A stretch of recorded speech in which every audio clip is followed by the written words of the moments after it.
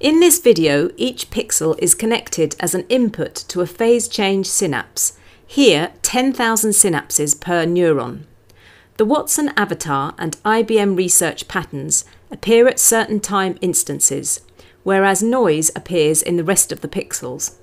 The synapses of the corresponding or level tuned neurons learn the patterns without any further computation or in an unsupervised way by increasing the conductance of the nanodevices that correspond to the Watson and IBM research images and decreasing the conductance of the nanodevices that correspond to the noise. Simply put, without any human intervention, we have mimicked the functionality of neurons and synapses to distinguish the Watson and IBM research patterns and detect their arrival times on their own which is a significant step forward in the development of energy efficient, ultra dense integrated neuromorphic technologies for applications in cognitive computing.